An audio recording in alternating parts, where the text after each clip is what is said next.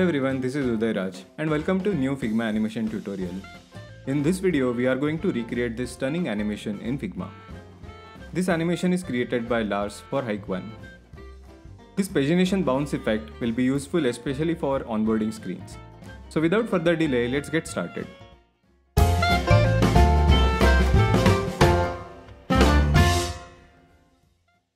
Let's start with standard Dribbble shot frame size, which is 800 by 600. Start with background fill color. I'm selecting the proper shade of blue. Next, we have to add pagination indicators created by three circles.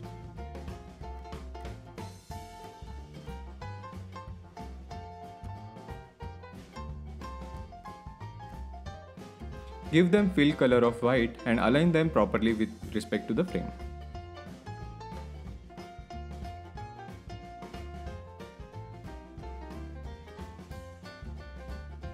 To create a bounce effect, we need to create an arc. Let's start by adding an ellipse and modify its properties.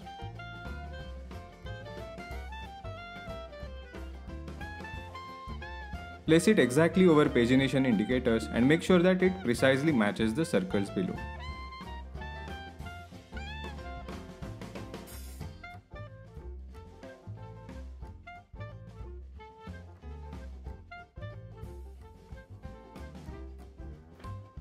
Arc should be little smaller than the perfect semicircle. We need to have rounded edges for this arc, but rounded corners are unusable here. Let's duplicate these circles below and use them as edges.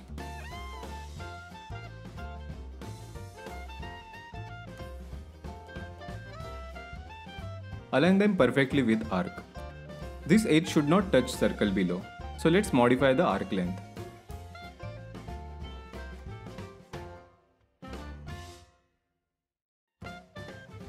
Add this arc and corner circles together in a frame. Rename it to bounce to make it easy to find.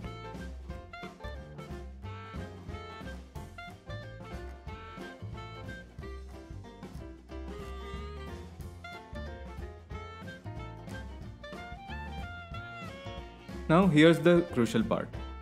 Add this bounce frame into another frame and reduce the outer frame size to half.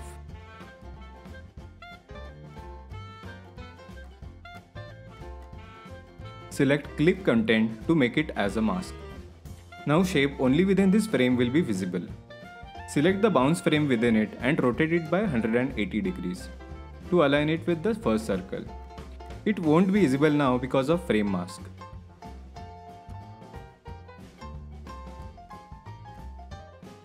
Now add a rectangle of exact size as the main frame.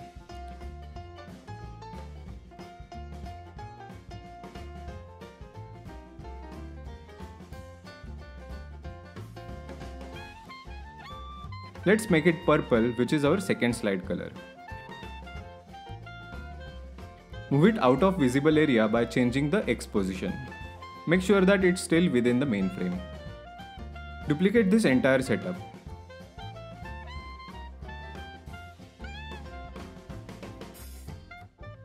Select the bounce frame and rotate it to make it visible.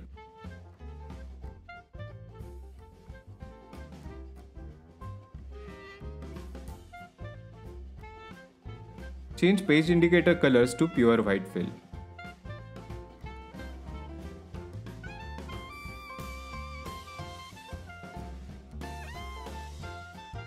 Move the rectangle background to cover half of the frame. Send this layer to back. This is our second part of animation. Now connect both of these frames using Smart Animate.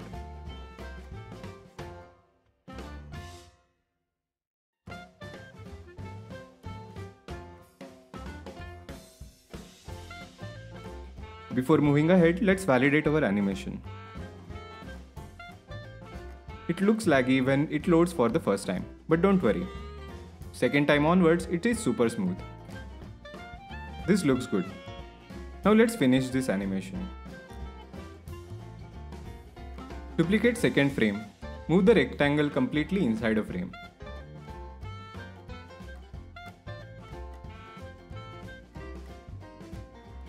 Tweak indicator opacities to make it look inactive. Select the bounce layer again and rotate it away.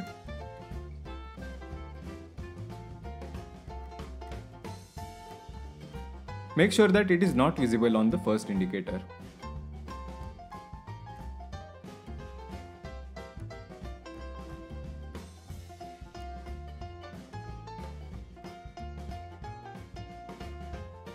Create seamless animation, connect second frame to the third one with the smallest time delay of 1 millisecond. Animation as Smart Animate and ease out with 300 milliseconds. Preview to see this action.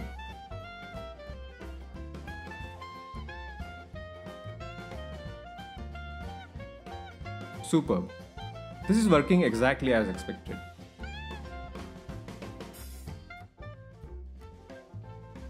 Select all three frames and duplicate them to reuse in the next section.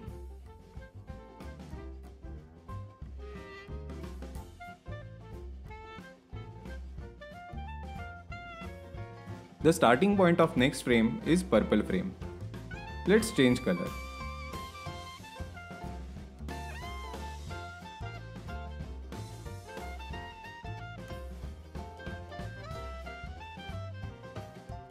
It is transitioning into orange. So select our rectangles and change its color too. I'll keep it red.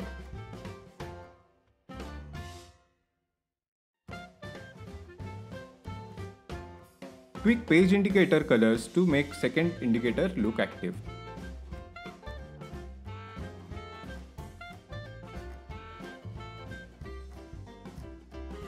Now let's move the starting point of our mask frame to the second indicator.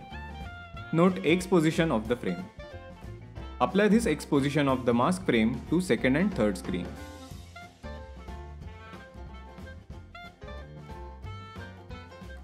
Also change indicator colors.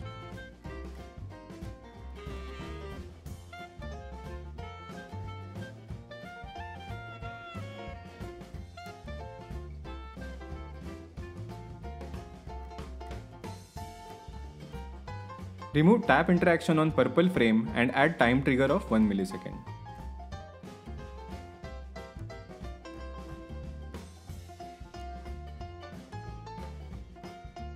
Change easing to ease in. Preview this.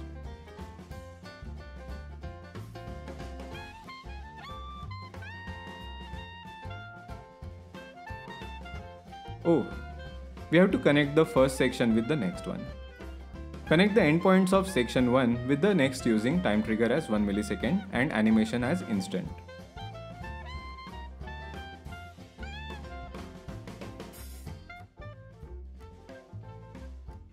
Reload animation. Looks perfect, nothing to complain. To reverse this animation, let's duplicate section 2.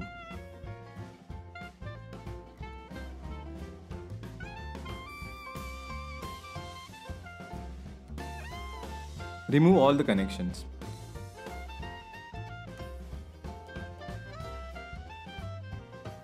Add new connections in reverse way.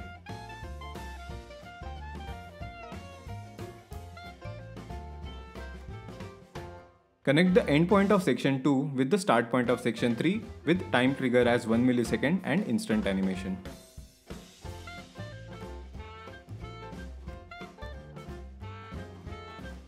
Reload animation to see this in action. Cool. I can't wait to complete this animation. Duplicate section 1 to use it as section 4.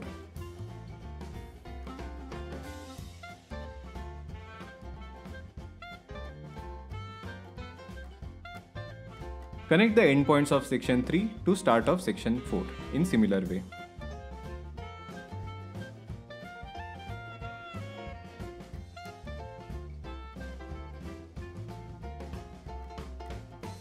Make all the connections just like section 3.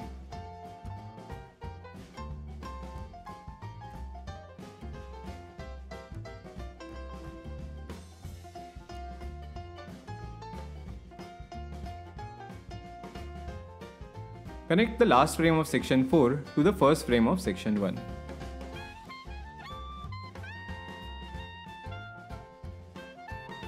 Preview animation.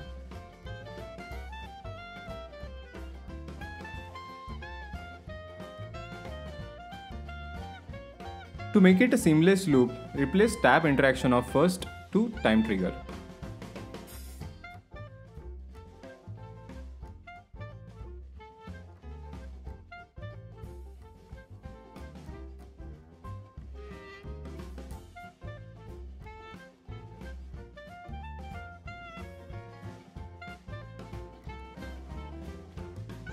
Reload animation.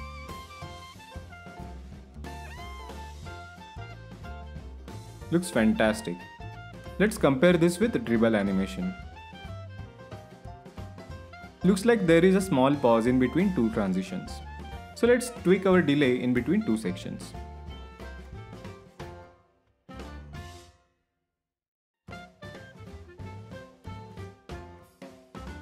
I'll change it from 1 millisecond to 100 milliseconds.